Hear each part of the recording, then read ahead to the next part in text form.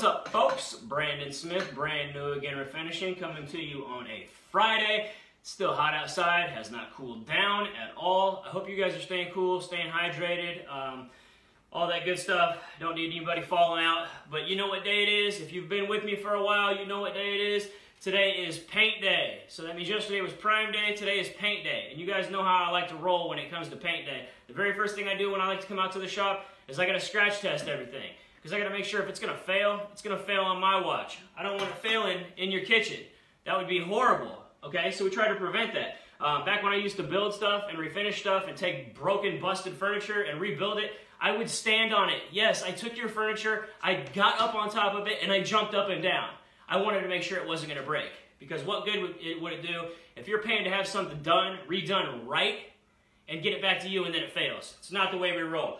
So we're to perform a scratch test on all these doors that are in front of me right here. I've got my arsenal, my weapons of choice.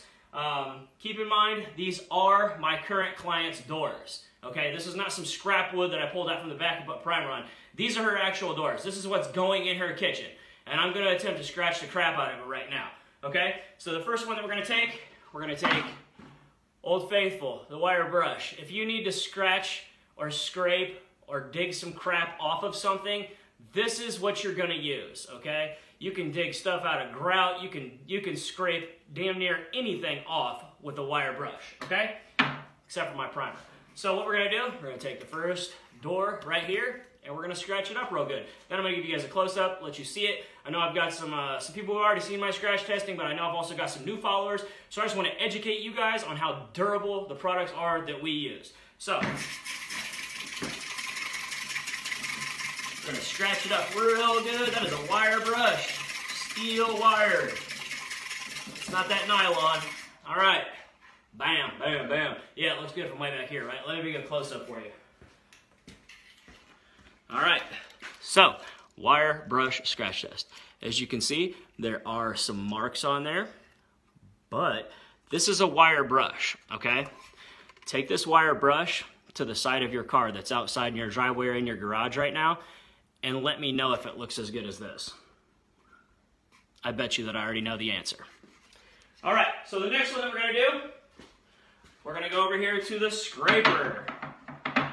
Everybody knows it's ever tried to get some nasty stuck on crap that's hard, dried, whatever, whether it be paint, whatever, you're gonna use something like this.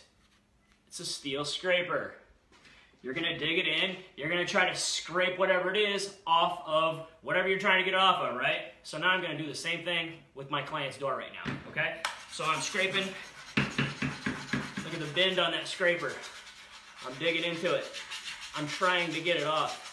I want it off of there. Bam.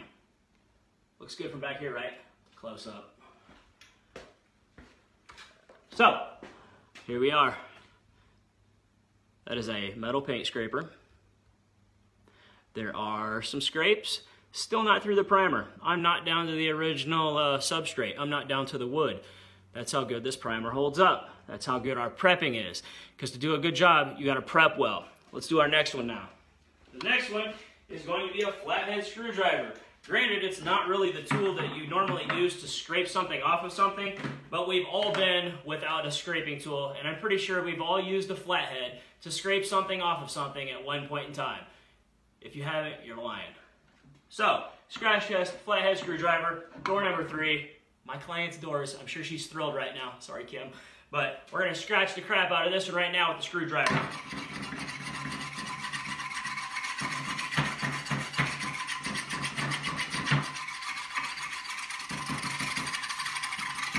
All right. Bam. Once again, look good from back here, right? Close up. All right, here we go. Flathead screwdriver. Primer still on there. That was actually where I got some, my finger drug through the primer when it was wet. Mistakes happen, it's part of it, you know, I'm not perfect. But we're gonna fix it, it'll be covered up with the paint. But anyway, look at that finish. That's a flathead screwdriver dug in at an angle in that door. Do that to the side of your vehicle and let me know if it looks this good still. You're probably down to the metal on the side of your car by now. And the last one that we're gonna do, we're gonna do the orbital sander, the random orbital. And we're gonna do it with 120 grit sandpaper on the bottom, okay? We're gonna take this last door, looks nice. We're gonna hit it with the sander. Let me turn on my dust collection real quick. Here we go.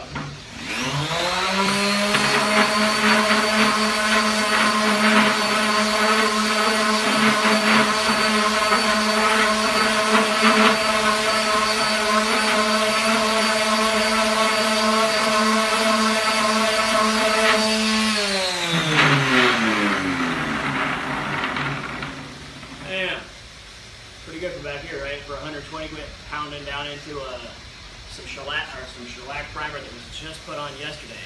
This isn't like 30 day cure stuff. This is yesterday I put this on. All right, here we go. Close up. Random orbital sander. Barely started to get through it right there. Barely. And that's after grinding that 120 grit sandpaper from that random orbital sander down into this door. Once again, try to, let me rephrase that. Don't try to, but imagine what would happen if you took that random orbital with 120 grit sandpaper to the side of your vehicle. How do you, how well do you think that would look? Probably not very good, right? Probably look a lot worse than that. So, with that being said, I hope this has educated some of my new followers and some of my old followers who might wanted to see me scratch the crap out of some of my stuff with additional tools. Um, I hope that this uh, provided you with a little bit more information on the durability of what we use on your kitchen cabinets. We take uh, we take the sustainability of everything very seriously. Uh, after all, if it wasn't going to hold up, I would not be charging you to do this to your kitchen cabinets. Uh, what we what we do is tried and true, and it's guaranteed to work. It's guaranteed to hold up. Um, so, with that being said, don't forget $50 referrals. Make sure you guys are sharing. Share this post right now. Let people know we're not just out here painting cabinets. We're putting stuff on cabinets that's guaranteed to stay on your cabinets. All right? I appreciate you guys' time. And I'll catch you on Tuesday for install. Stay cool.